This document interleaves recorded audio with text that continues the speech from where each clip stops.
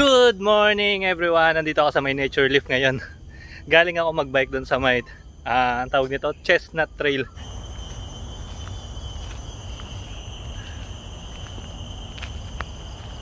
Yan, ang dungis-dungis ko na oh. Pati yung bike ko, ang dungis. So napadaan ako dito sa may nature lift ah, park na to. Napakaganda rin yung nature lift park niya.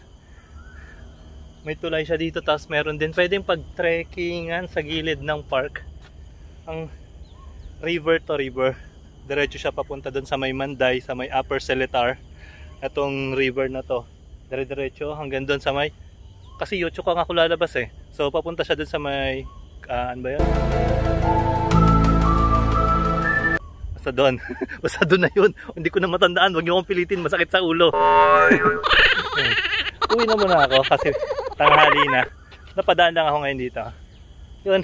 Pakita ko lang sa inyo. Ang napakagandang lugar na to. Tapos may puno doon. Oh. Pwede ako mag-relax ng mga 2 minutes.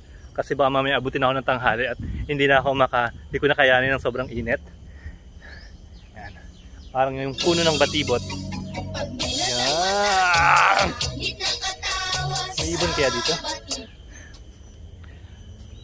Meron silang mga ganito pala eh. oh. Singapore pioneers. Some of the earliest immigrants who came to Singapore were the Orang Laut. Orang Laut. Alam ko ako orang gutan. orang orang laut siguro yung mga ayan mga dumadaan sa mga ilog.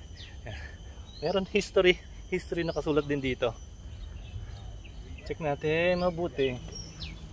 Ganda. Ako naglalakad kasi dito sa Singapore kapag may nakikita kang ganyan yan. Dismount and push sundin natin. Kasi may mga CCTV dito baka mamaya bigla tayong makita or mapicturean dito at di natin sinusunod yung mga patakaran dito. Nako isang fine ka agad yan. Kaya dapat sundin natin. Pagdating sa mga gantong mga PCN so pajak na muna ako ulit ha? Babu nag-bloom na sila. Kaninang umaga pagdaan ka dito wala pa tong hindi pa sila nagbo-bloom ngayon bumuka na talaga sila. Merong kulay maroon, red at meron din namang white doon sa dulo white. Pure white. Ganda. Kinukuha na lang ng picture doon Ayan. mga interesado rin sila sa ganda na itong lotus flower na to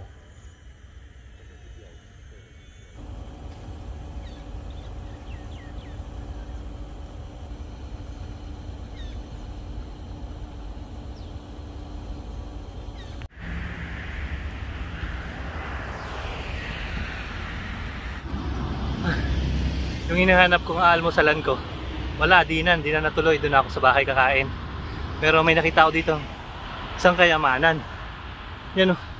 ang dami o oh. yung mga dahon ng gabi na malalaki nandito pala marami o oh.